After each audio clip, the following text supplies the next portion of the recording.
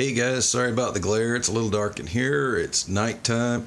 This is the Cosmic Elf uh, test pattern from the Pixie chip.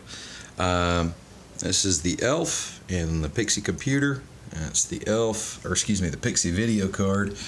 In the Pixie video card, uh, just so you guys know, there is no wizard in here. There is no Arduino or anything weird like that. This is, in fact, a hand-wired hand wired uh, Pixie video card and an old fashioned hand wired Cosmic Elf. Uh, a few little upgrades done to it. Big green cartoon button. I've got uh, the LEDs and the uh, the, uh, the the whatever the expensive, hard to find doohickeys are.